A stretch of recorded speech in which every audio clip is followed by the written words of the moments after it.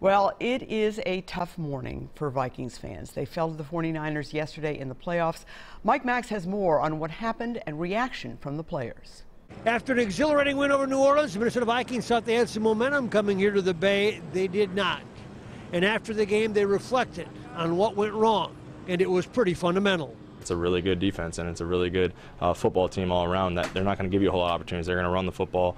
Uh, they're going to control the ball, and um, so you, you really have to uh, take advantage of the opportunities you get. They had a good game plan. Um, they came out, they ran the ball, they make us go um, lateral. Um, so you know they, they try to make us play slow, um, and that's what they did. You know we, we, we got them in third down um, situations, and when we did, we affected Jimmy. But you know they were getting six yards, seven yards.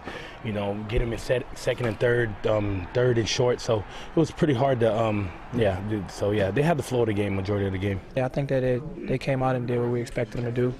Um, didn't anticipate them being able to run the ball that well, but um, they took what was there. They stayed consistent with it. You know, kept it on the ground. Um, even when there was times where we where we stopped them for a short yardage, they just continued to kind of chip away at it.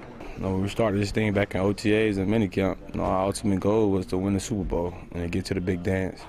You know, we fell short of that, and I think it's a big building block and, and a, you know a start for what we can accomplish next year. So we just gotta you know, put this one in our back pocket and keep it there for a couple of months till we get this thing back going.